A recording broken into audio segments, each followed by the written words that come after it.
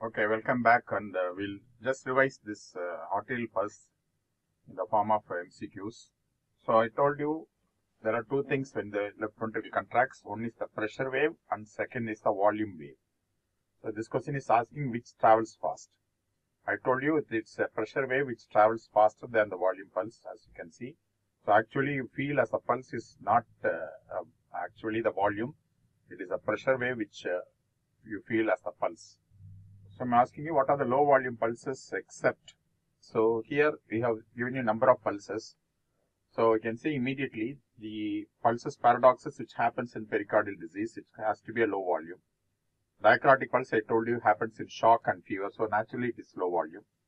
So pulsus parvus et tardus happens in aortic stenosis, naturally it's low volume. So naturally the one pulse which is uh, you know, not a uh, low volume pulse is Corrigan's pulse. Yeah, the pressure which travels fast. And here the Corrigan's pulse is not a low volume pulse because Corrigan's pulse is in aortic regurgitation. So it's a high volume pulse. All the three are low volume pulses. As I told you, to confirm a low volume pulse, you have to check the pulse pressure. If the pulse pressure is less than 30, it is a low volume pulse. If the pulse pressure is more than 50, it is a high volume pulse. So which pulse occur most often non-cardiac condition? Collapsing pulse occurs in IIR. Bisferiens pulse occurs in three conditions. The dicrotic pulse is the pulse which most often occur in septic shock, fever or typhoid fever because of the excessive peripheral vasodilatation. Which pulse indicates LV failure? I told you there's a pulsus alternans is a sign of left heart failure. Alternating strong and weak pulses or pulsus alternans is a sign of left heart failure. Which of the following is not double beating pulse? Bisferiens pulse is double beating. Dicrotic pulse is double beating. Pulsus bigeminus is double beating. Pulsus paradoxus is only change in volume of the pulse and not double beating pulse. Pulsus paradoxus can happen in cardiac tamponade, bronchial asthma, cardiac asthma, pneumonia, in all except.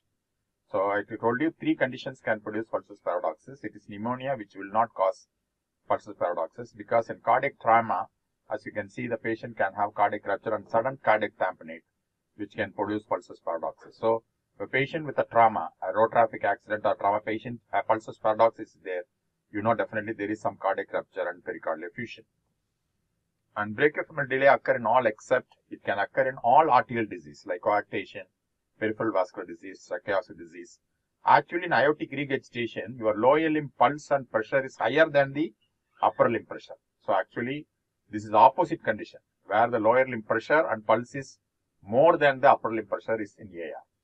So it is the question which uh, which asks you for except. Low volume pulse pressure is less than 30. As I told you, low volume pulse the pulse pressure is less than 30. Allen's test should not be done before CAG by radial route is a wrong statement. So Allen's test, Allen's test should be done in all patients who are undergoing coronary angiogram by the radial route. So pulsus bisferiens is best appreciated in carotid artery, whereas pulsus paradoxus means it is, actually I told you there are three or four statements.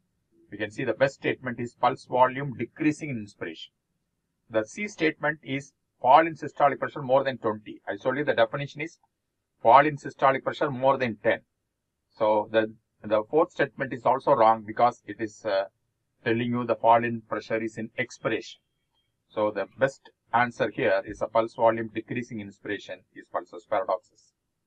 So pulsus paradoxus is seen in uh, cardiac tamponade, uh, severe LV failure, tachycardia MI, the condition which will produce a pulsus paradoxus, which is a cardiac emergency, is cardiac tamponade.